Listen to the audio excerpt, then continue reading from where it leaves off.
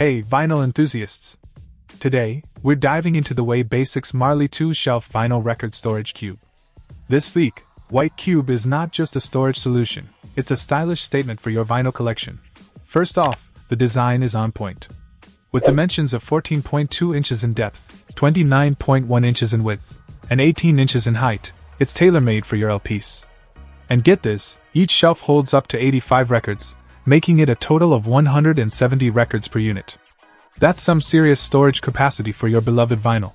Now, what sets this cube apart is the eco friendly construction. Crafted from Z board recycled paperboard, it's not only sustainable but also free of formaldehyde and VOC. So, you can organize your vinyl guilt free, knowing you're using an environmentally conscious product. Assembling this cube is a breeze, no tools required. Thanks to the 3M adhesive strips and EasyLine pins, you'll have it set up in no time. Peel, stick, and you're done. The Marley 2 shelf cube is not just limited to vinyl.